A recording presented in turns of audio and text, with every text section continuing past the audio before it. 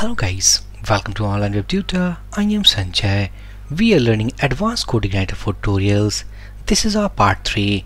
Inside this video, we will see the concept of trait in CodeIgniter 4.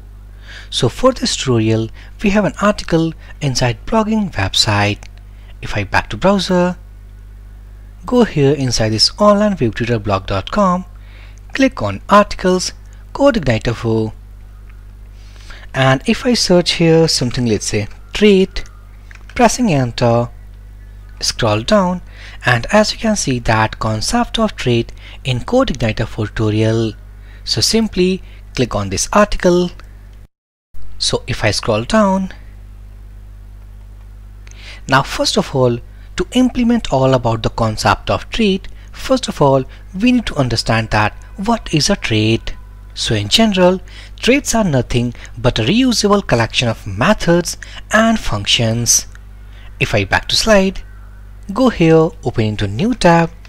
Let's say that we have several pages inside our website.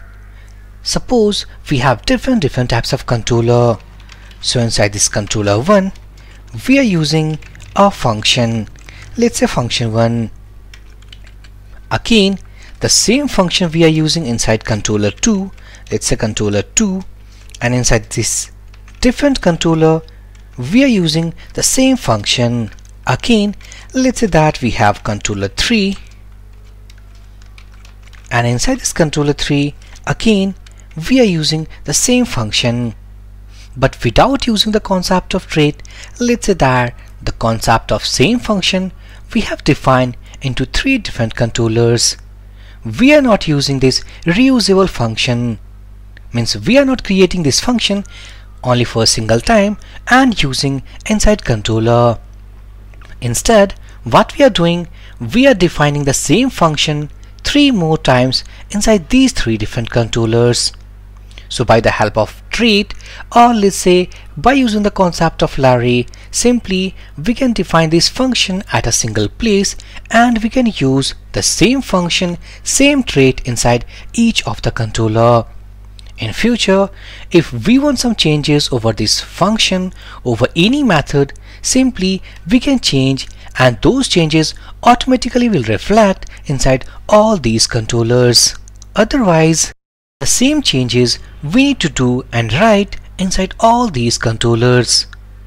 Now what I will do, simply we will create a trait class inside CodeIgniter 4 setup and we will see that how can we use a trait class and its reusable methods inside controllers. If I back to our blog article, so scroll down, first of all we need to install CodeIgniter 4 setup so if I scroll down, here is the command. So what I will do, simply I will copy this composer command. Back here inside this CodeIgniter for setup, open into a terminal because this time we are going to run our composer command. Pressing here and let's say that instead of CodeIgniter hyphen 4 setup, I will call it as let's say trait hyphen class. Press enter we need to wait for a while because as we can see the installation is in progress. And successfully as we can see that installation now installed. If I back to folder structure go here and this is the folder what we have downloaded. So I will open this folder into VS Code editor. Successfully now we have imported our project inside this editor. Back to blog article now next we need to set our environment variables that is .env file. So by default when we do installation inside the setup we have a env file but right now it is useless. If we want to use this env file we need to convert from env to .env so we have two options either we can simply rename here or we can run our terminal command called cp env.env. By the help of this command actually we are creating a copy of env file to .env file. So what I will do simply copy this command go here first of all I will go inside that folder so it will be something trait hyphen class cp env.env if I back to folder structure and as you can see that we have a .env file. Now next inside this .env file simply we have to convert from production to development. And why we are doing? Because after making its development if suppose if we get any error then the error will display inside output screen. Back to browser. So here we have done all about our production to development. Now next we need to create a database. To create database if I back to our phpMyAdmin go inside databases and let's say that trait underscore class. If I press enter database created back to editor go inside this .env file search for the variables called database and inside this I will uncomment all these variables to set our database details. So here inside this database name this is the name what we have created. In my case the username is admin and password is admin123 in your case it may be different. So after setting databases back to article. Now next we need to create these two tables. So what I will do simply I will copy all these codes back to phpMyAdmin go inside this database. Go inside the SQL tab. Pasting it here. Press enter or simply click on go button. Now as we can see that we have created two different tables now inside this database. We have the tables as products. Inside this products table, we have the column as ID, name, description, amount, status, and time time values. Now next, inside this users table, we have the column as ID, name, email, and time is time values. Back to article. So here we need to connect our database, what we had done successfully. Now next, we need to create seeder file. So the first command is going to create a user seeder file. So I will copy this command, go to terminal, pasting it here, pressing enter, seeder created successfully. Now next, we need to copy this command. It is going to create a product seeder file created successfully. So after creating these two seeder file, where we will find these two files simply we need to go inside database folder seeds folder and here is the file back to editor go and reload inside app database seeds and here we can see those two seeder files if I scroll down simply we need to open user seeder file and paste all these code copy this code from here Open user seeder, get rid of all these codes and pasting it here. We have done all about user seeder file. Now next, we need to copy all the code. This is for product seeder, code copied. Back to editor, open this file, get rid of this old code, pasting it here. Now we have done all about these two seeder files. Back to article, and finally, now we need to seed the dummy data inside these two tables. Right now, there is no rows inside this products table and users table. So what we will do, simply we will copy this first command, go here, pasting it here and this command is going to seed dummy data for users table because inside this user seeder file if we closely see then this user seeder file is going to do dummy entry inside this users table.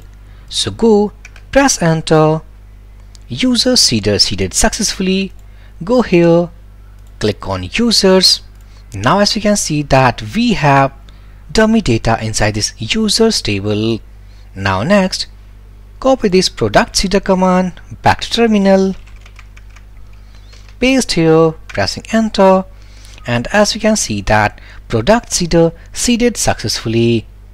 Back to article. We need to create models next. So copy this first command. This command is going to create user model. So I will copy, go, paste and run. Now next again copy this will create our product model. copy, paste, enter and created. Back to folder structure.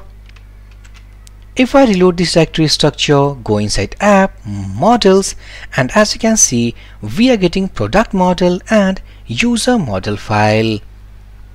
This product model is pointing towards our products table as well as user model is pointing towards users table because inside all these models we have a table member variable in which we have specified the table name.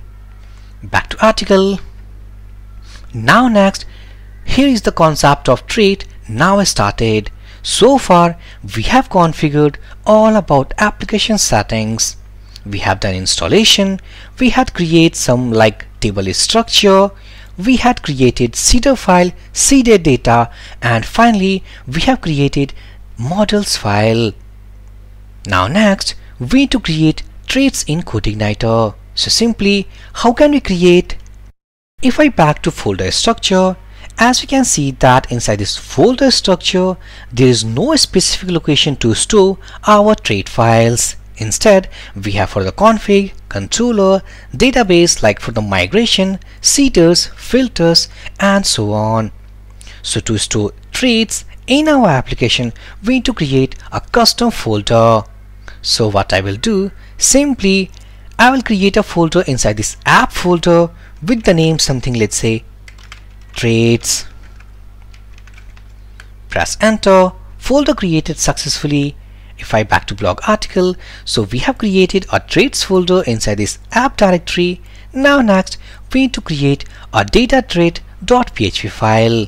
So simply I will copy the name back to editor go here inside this folder click on new file and data trait.php Inside this data trait.php, we will define our trait class and inside that trait class we will create a method and that method basically a reusable method or let's say reusable block of code which we can use inside any of the application controller.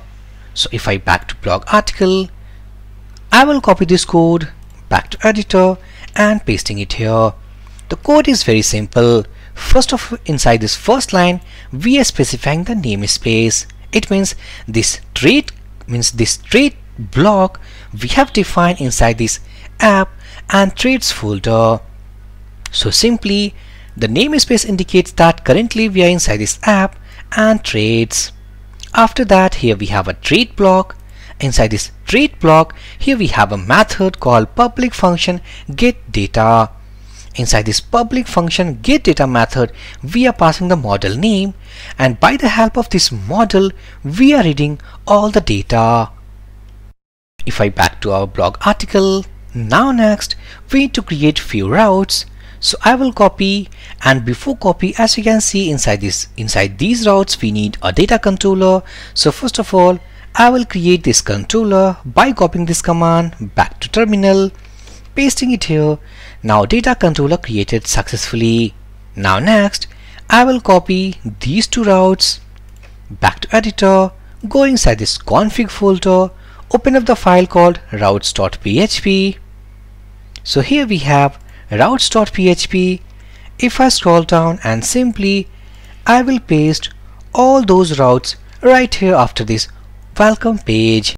Inside these routes, these our route name called list-products, list-users and these methods are calling list products, list user methods from this data controller. So next, we need to create these two methods inside data controller. Back to blog article. So by running this command, we have created our controller. So here is the complete code. So I will copy this data controller code back here inside this editor open up the file our controller so go inside app controllers data controller. I am re removing this old code and pasting what the code actually we have copied. Now inside this code let's understand step by step that what actually we are doing. Simply this is the namespace this is our parent controller and after these two lines here we have imported our data trait this data trait contains a reusable block of method. So first of all, to use all these methods, we need to import this data trait block. So simply inside this controller, we have imported this data trait from app and traits folder. Now next, we are loading all the models like product model and user model. Now next, this is all about the syntax to create a controller class. Inside this controller class, we want to use all about our reusable methods of this data trait block. So here we have loaded. Now next we need to use inside this class. So that's why we have written use data trait now these are two methods. And inside this method simply here we have products equals to this get data new product model. By the help of get data get data is nothing it's a method what we have created inside this data trait block and simply Inside this get data, we are passing an instance of product model.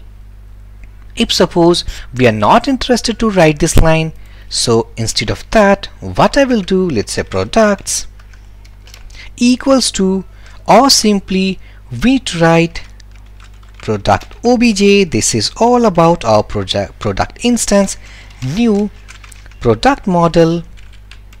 And after that let's create a variable called products. Here we write products obj arrow operator and find all.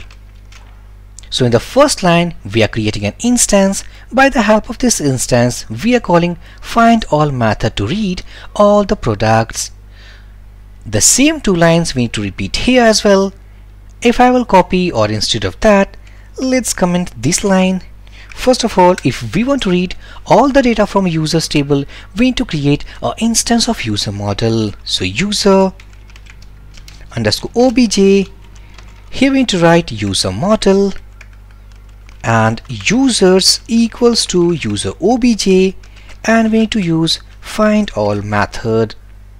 So as we can see that we are repeating some lines again and again that is Loading a model means creating an instance and then calling a find all method.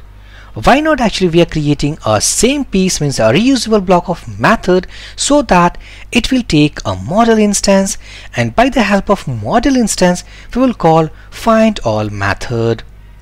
So that's why instead of these two lines again and again inside any of controllers method what we have done we have written a single line of code Inside that, let's say something get data. Inside this method, we are passing an instance of model. So in the first method, we have the instance of model, it's a product model. And in the second method called list users, here we are passing the instance of user model. So this is the use of trait in CodeIgniter 4. In suppose we have multiple controllers, simply we can use this. First of all to import data trait use inside controller class and simply we can call all the methods what we have specified inside this trait block. So this is kind of a reusable block of method what we are doing inside this data controller so just think for a case if we have large project inside that large project if we are repeating the same piece of code again and again inside any of the controller so to get rid of that concept we can use the concept of libraries helpers and trait block concept. So for this video session guys thank you for watching and have a great day